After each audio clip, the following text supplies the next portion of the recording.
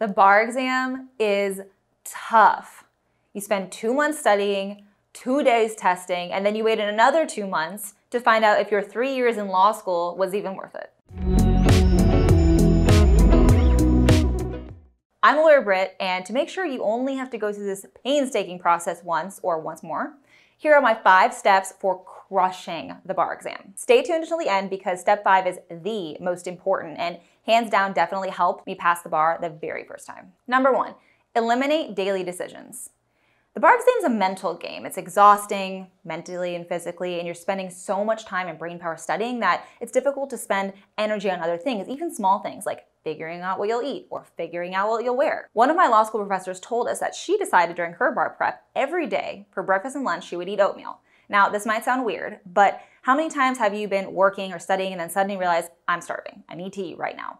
Then you have to take time away from working or studying to figure out what you're going to eat. If you know you're going downstairs to make oatmeal, you can keep your focus fully on studying. Same thing with clothes or going to the gym. Get a solid routine so that every day I'm wearing leggings. Tuesdays and Thursdays at 3, I go to the gym. That way you're not stopping to say, should I work out? When am I going to do that today? Eliminating the need to constantly making small decisions will keep your focus on studying, which is where it should be. Number two, create well organized outlines.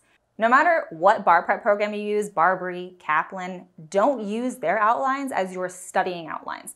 Those outlines are long, overly complicated, and not easy to review at all. The point of an outline is to help you understand and remember information so you can apply it on the actual exam. Your outline should be well organized in sections and pages that make sense to you. So take a step back and look at the big picture.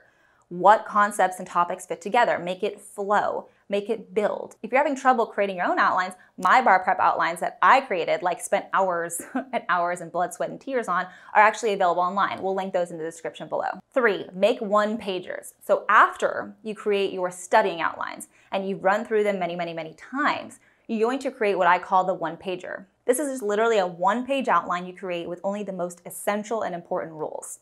The crux of the bar exam is pulling issues out of a set of facts and applying the correct rule to reason an outcome. If you know the rules, you can spot the issue. That's the most important part. For every single subject, I created a one page quick outline.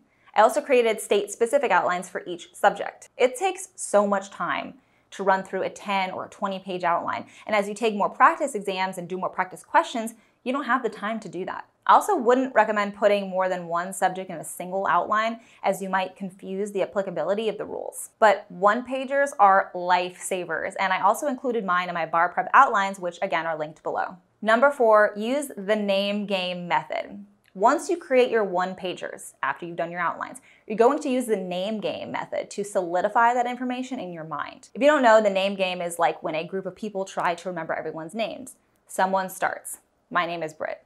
The next person says Britt and Kathy. The next person after that says Britt, Kathy, and David. And so it progresses around the whole room until the last person has to remember every single person's name.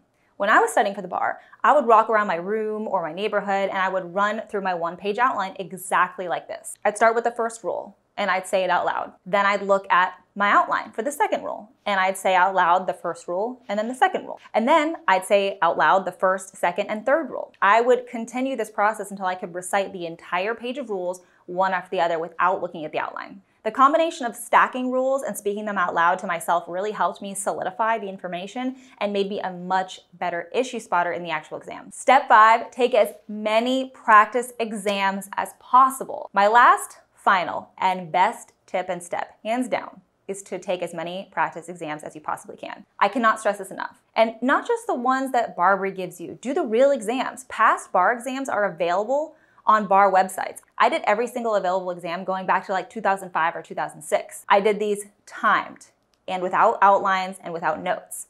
Don't get used to using a crutch of notes or extra time. You'll get used to it.